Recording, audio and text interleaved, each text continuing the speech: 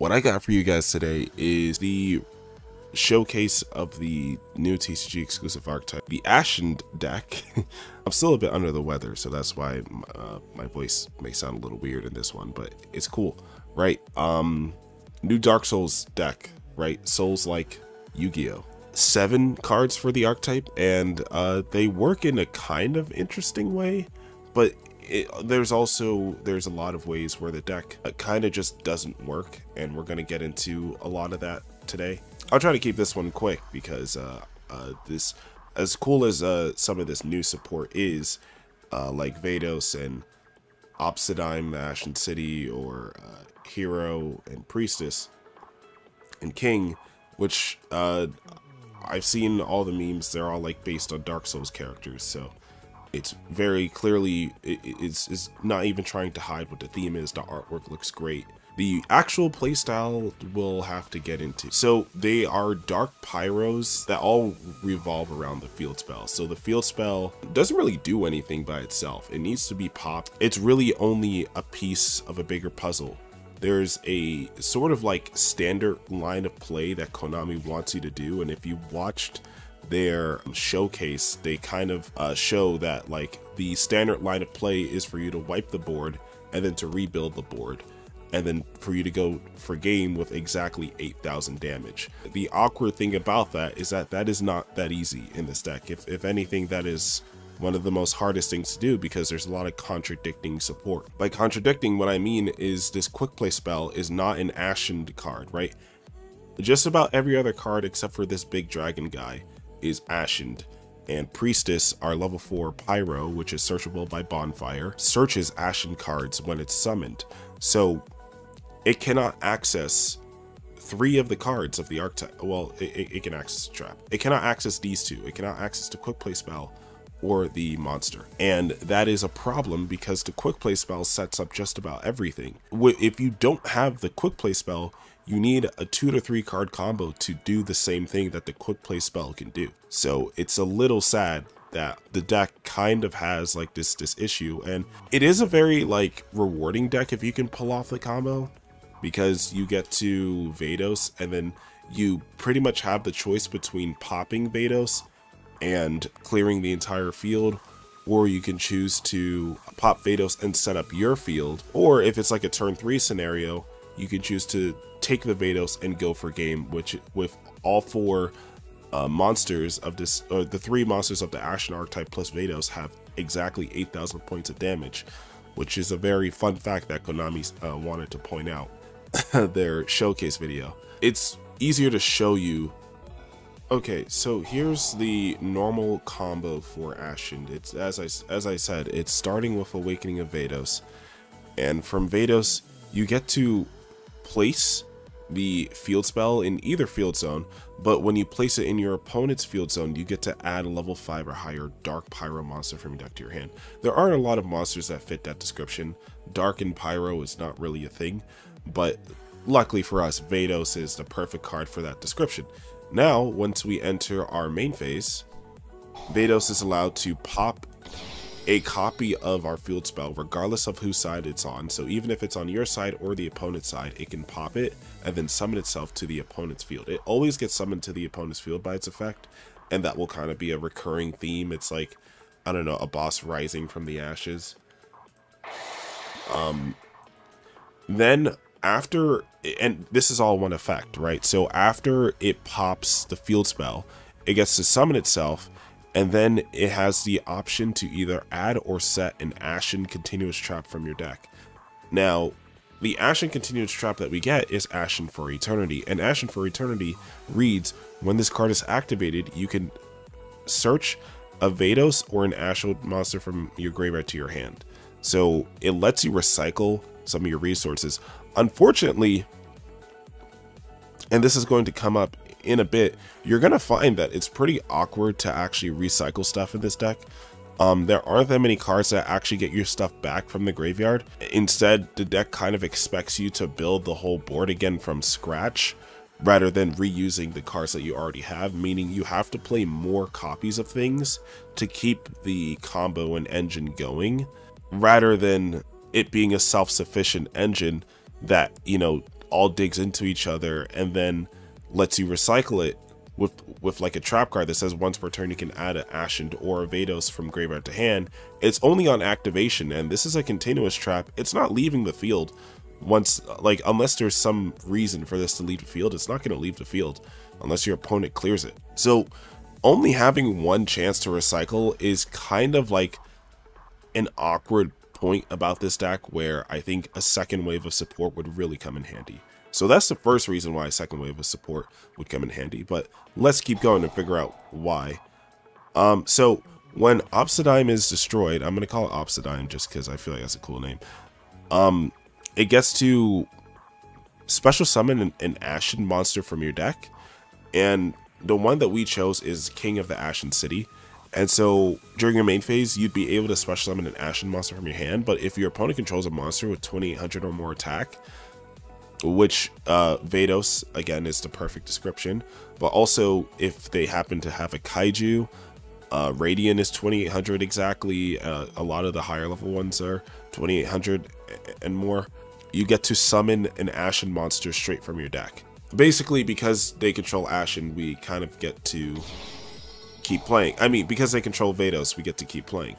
And so this is why I'm saying the the quick play spell sets up everything, because we got two Vados from the quick play, two Ashen from the quick play, two Priestess, all off of one card. So we're going well so far. And now Priestess has the effect of when she's summoned, she gets to add an Ashen card from deck to hand. Right?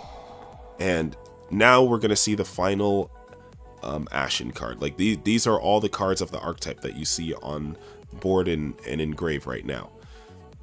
Now you're probably wondering, right? Um, it's great that you can get to King and to Priestess, but Hero is level 7, and we don't have our field spell currently on the field, right? Because all three Ashen monsters can special summon themselves while you control the field spell, but we don't have the field spell, so what is Hero going to do? Um, unfortunately, we are forced to tribute summon it because we have not used our normal summon, and Awakening of Vados locks us into um, pyro for from deck and extra deck anyway. So it's not even like we can make any cool plays with like SP or anything like that this turn. Once we resolve Vados, like we are locked into Pyro, so we might as well make the most of it, right? So we go into Hero here, and Hero has a quick effect to pop any Pyro on the field and then place another copy of the field spell from your deck into your field zone if you popped Vados. So because we popped Vados here, we get to place Field Spell. Now, that being said, just remember that Vados, when it's sent from the opponent's field to the graveyard, um, in any way, not just being destroyed, but also by, um, let's say they use it for like a link or like a synchro summon because it's level 9, its effect would still trigger on the summon of the new monster. So however it's sent to graveyard, it becomes a board wipe. The issue is that there's no card to protect your monsters from being destroyed by its effect. There's no card in the archetype that protects your monsters, right?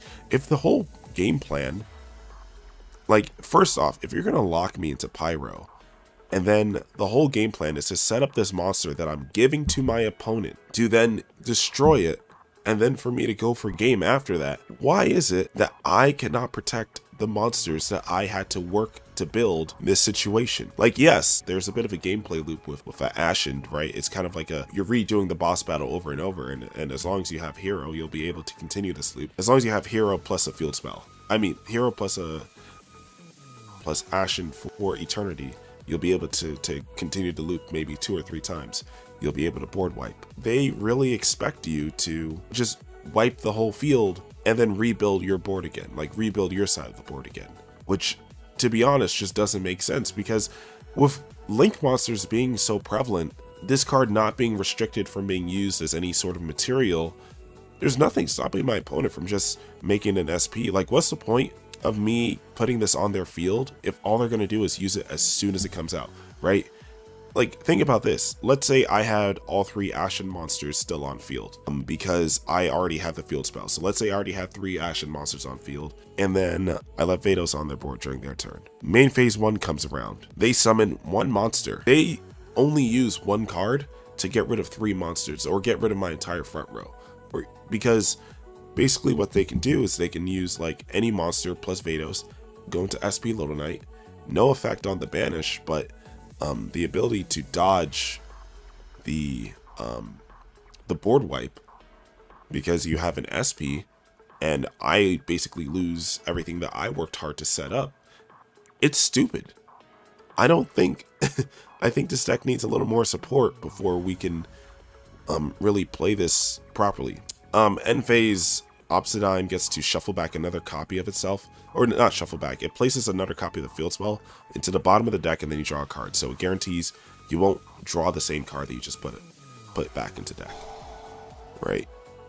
Which, you know, at this point was another copy of Field Spell, but I mean it was another copy of uh Awaken, but yeah.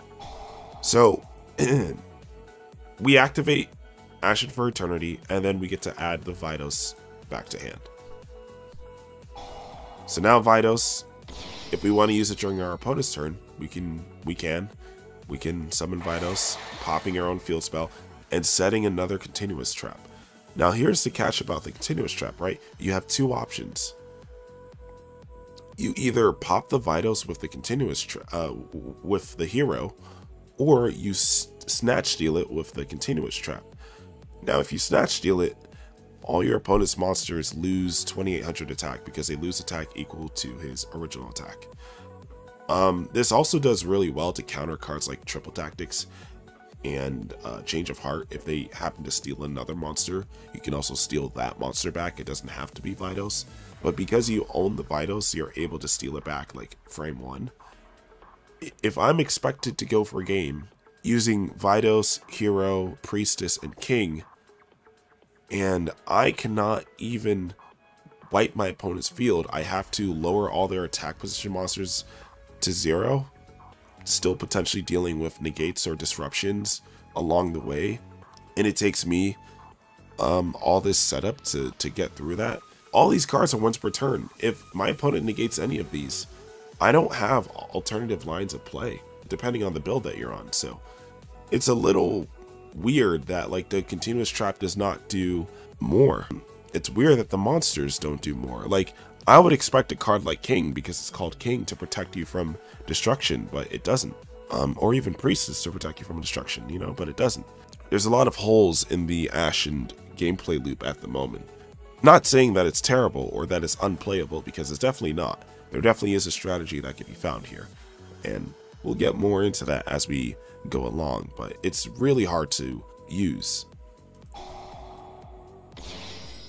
So we're gonna go for Priestess here, Priestess search, another hero, hero, pop the Vados, get us another field spell, and then you can board wipe, right? You can board wipe, you have field spell, next turn you can summon hero again, boom. And you also have Ashen for Eternity to recycle any of your Ashen monsters, right?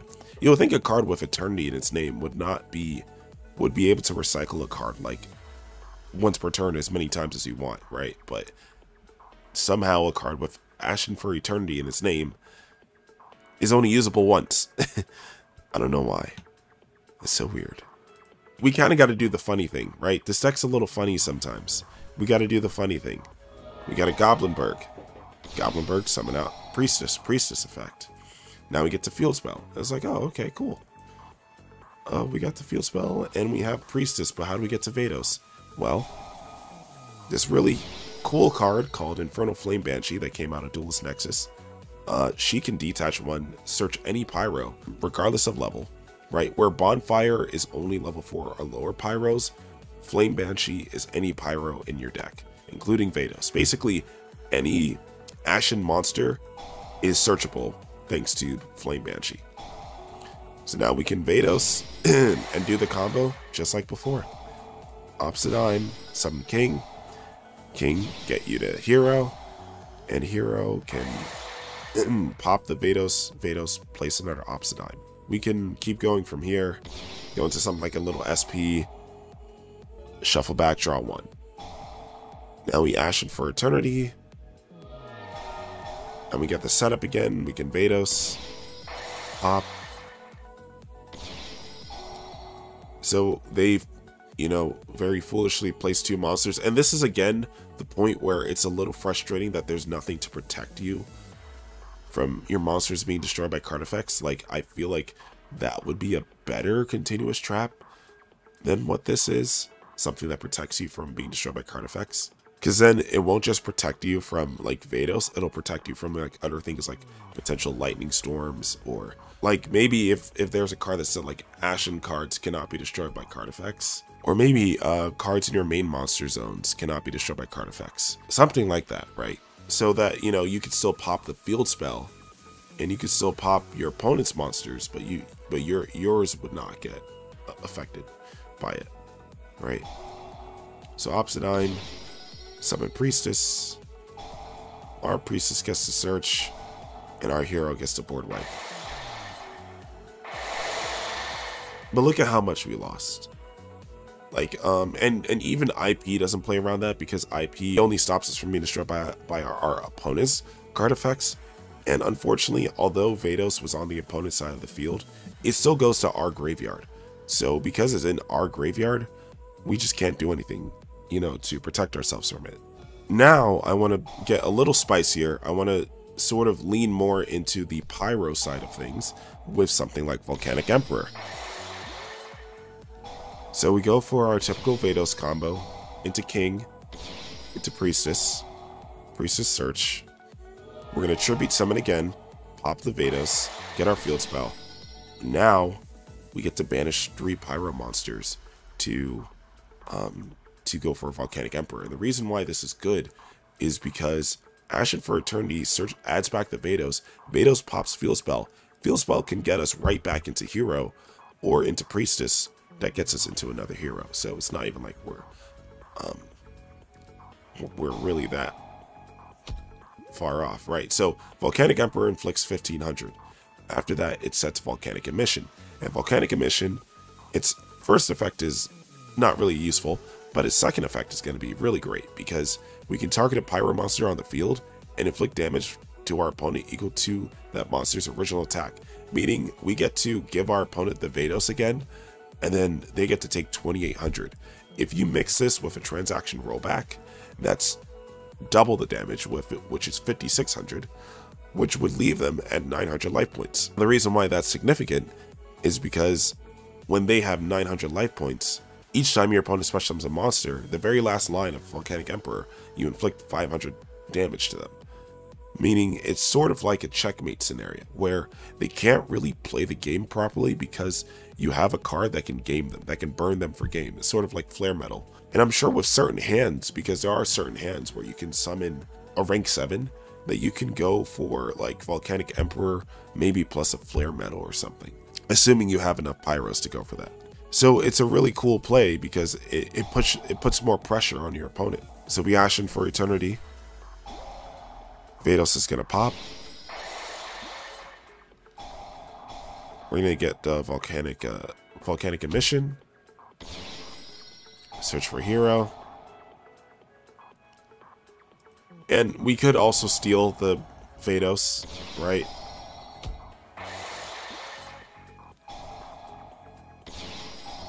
So you guys kind of get the point, right? Even even with three summons, they're down to like 2200.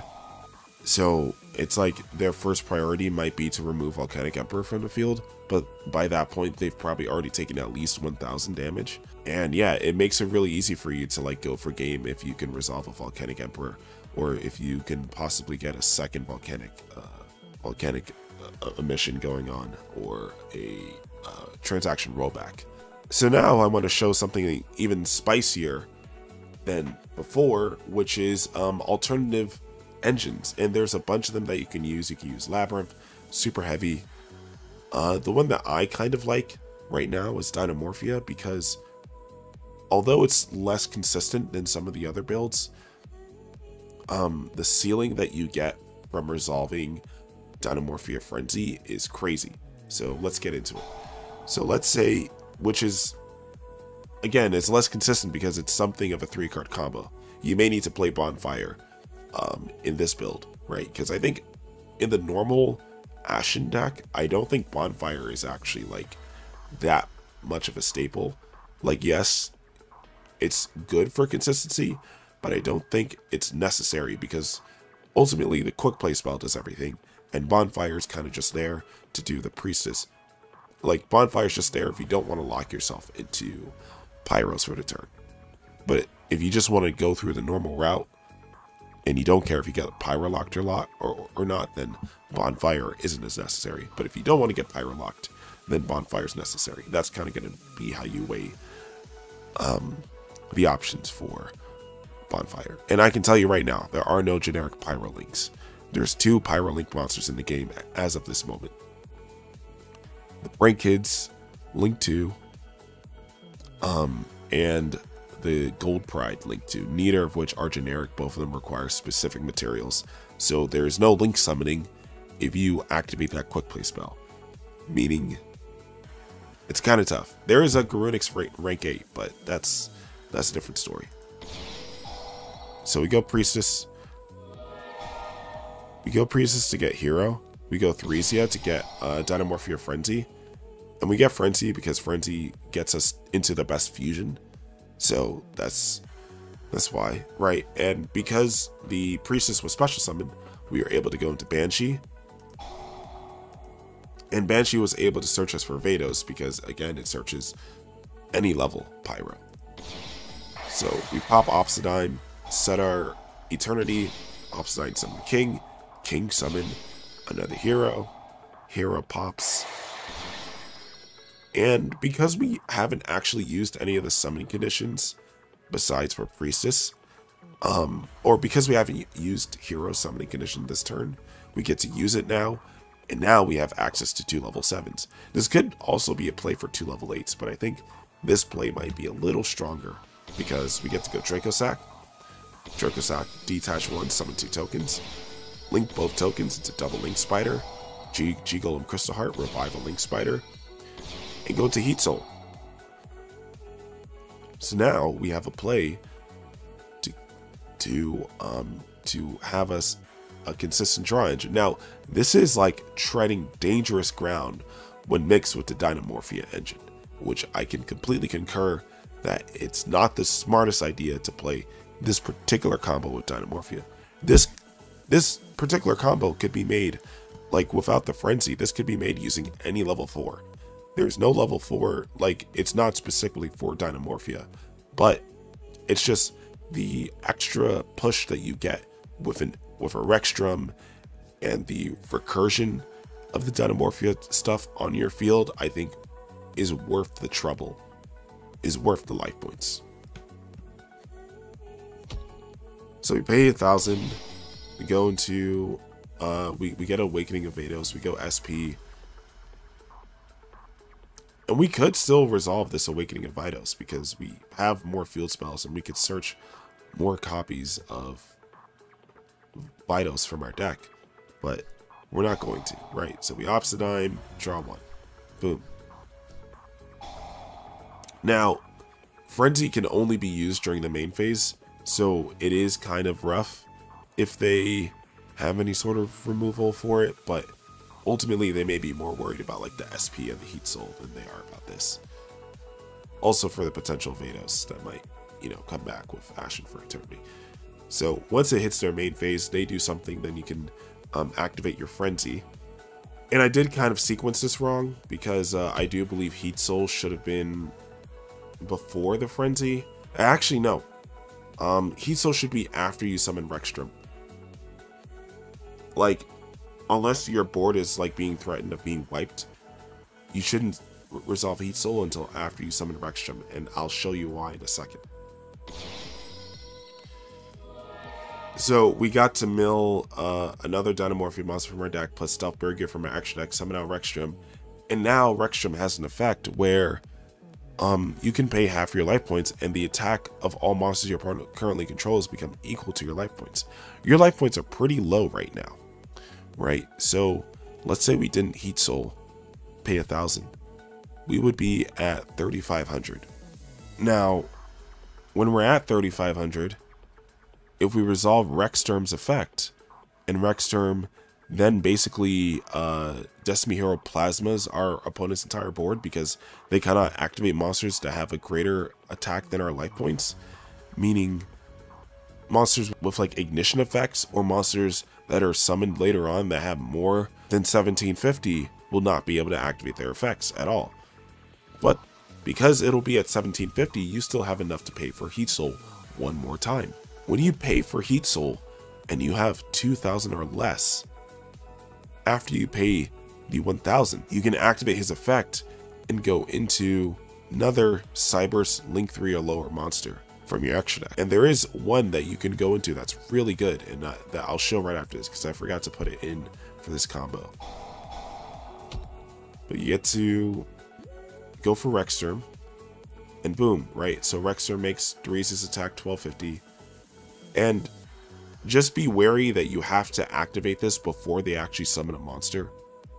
Um, unless their very first action is to summon a monster, try to resolve Rexsturm before they actually summon anything, and you should be good to go. In terms of your life points, I know it's treading dangerous territory. Every Dinomorphia trap card can banish itself to protect you from damage, some from effect damage, some from battle damage. If you're being threatened with game on like your SP or something, just try to remember that you can protect yourself from battle damage using that. Also, because of Rexterm's being able to pay half his life points, um, he could potentially stop your opponent from not only being able to make big link monsters, but also from having the attack points to swing into your SP or something like that, because your life points will be so low that it's likely that they may not be able to actually summon any monsters that, that can swing at you. They might have to big brain like a Bystial or, or, or something, maybe. Like if they big brain a Bystial, I think that'll be. We are treading dangerous territory. Don't don't get me wrong, but I just think it's really interesting what the deck can do. So the other Link 3 or lower Cyberse that you could summon with uh, Heat Soul is S-Force Justify, because Justify,